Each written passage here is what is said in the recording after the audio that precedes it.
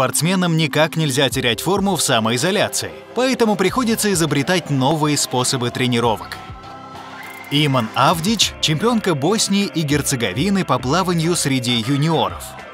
Спортсменка тренируется в крошечном бассейне в теплице своего дедушки. Плыть приходится на месте, но она привязывает себя к бортику веревкой, и это создает необходимое сопротивление. Семикратная чемпионка мира по гребному слалому и двухкратная призерка летних Олимпийских игр Джессика Фокс из Австралии использует любую возможность потренироваться дома. Грести ей пока тоже приходится в маленьком бассейне.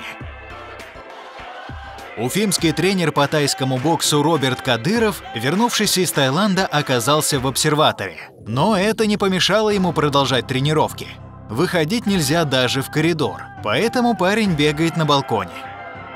Тренер по большому теннису Владимир Шабалин из Иркутска вместо ракетки решил сыграть сковородкой. Спортсмен признается, что тренировкой такую игру назвать сложно. Зато он и его девушка весело провели время и сняли видео на память о самоизоляции.